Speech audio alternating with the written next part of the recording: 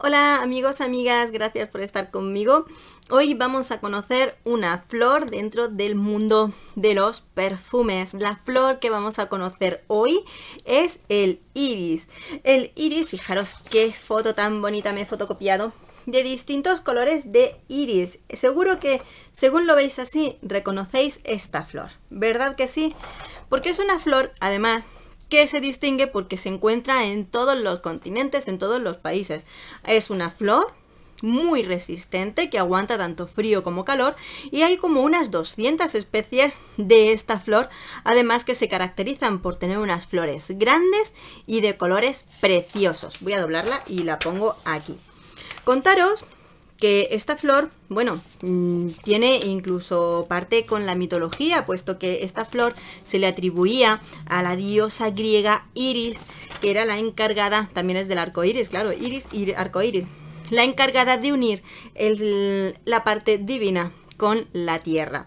También el iris es la flor que representa la monarquía francesa, la, la flor de lis.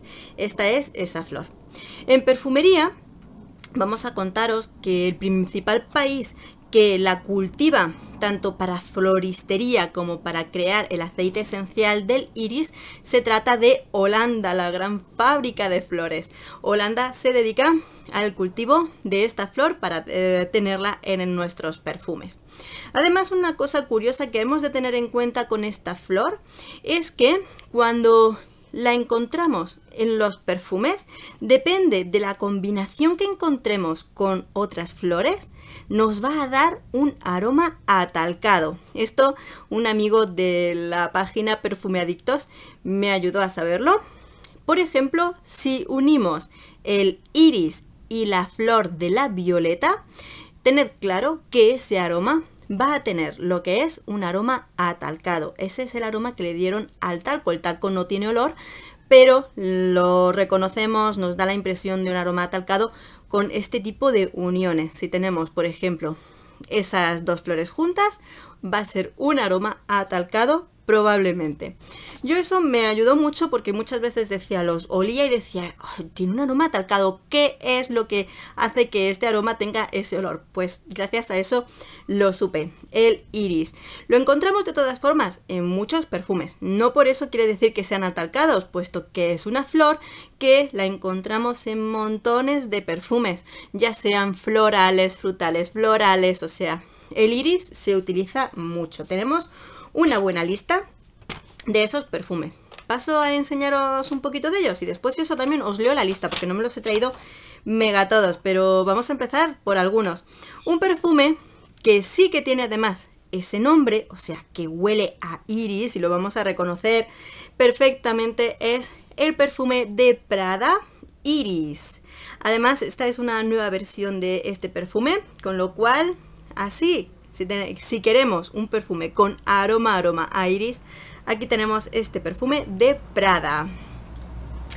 Perfumes, perfumitos que contienen ese aroma, que no necesariamente son solo de ellos, sino que lo contienen. Tenemos el perfume de Tresor de Lancôme.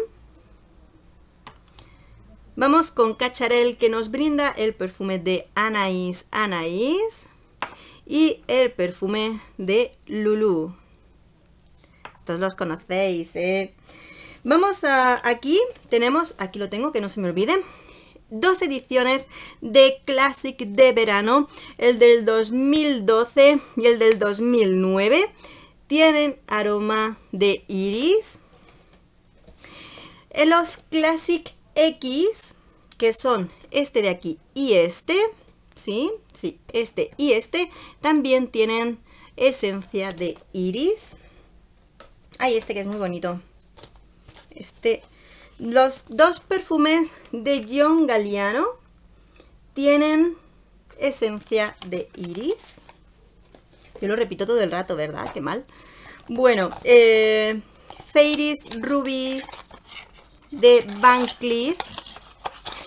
tiene este aroma. Ya sabéis, yo no tengo adita porque es de edición de 30 mililitros. Quiero una dita. El perfume de Mongerline Floral. También lo tiene, fijaros, pues este tiene además un montón de flores, por eso no nos da esa sensación atalcada. Un perfume bellísimo que nos encanta, la Vie Belle Parfum, tiene este aroma.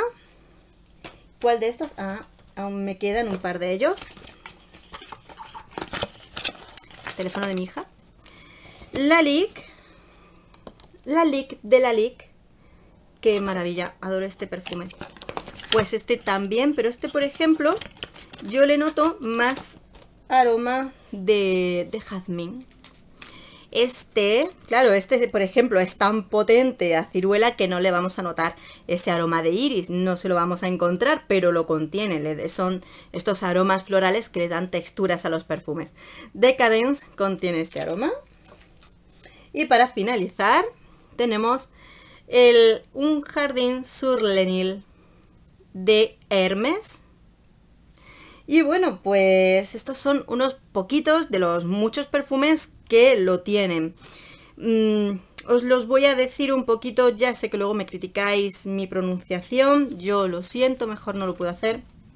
Tenemos Escada, Sentiment, O de Moschino, El Mongerline, Decadence, Lalique, Iris de Prada, Feris Rubis, Un Jardín sur Lenil, La Vie Belle, Chanel número 5, Samsara, Omnia Amatist, eh, los de John Galliano, Salimar, lo digo con ese, Salimar, Faronch, eh, Fleur de Fleur, el Lorita Lempieca, Tresor, Anaís Anaís, Lulu y lo que hemos dicho de los Classic.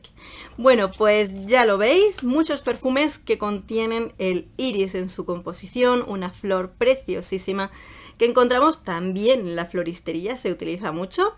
Ya veis, bueno, solo me queda vuestras opiniones. ¿Os gusta esta flor, el aroma de esta flor en los perfumes? ¿La soléis distinguir? ¿Conocéis algún perfume? ¿Tienes un perfume maravilloso que tiene esta flor? Cuéntamelo. Yo luego os voy leyendo a todos. Espero que os haya gustado este vídeo. Un beso enorme y hasta pronto.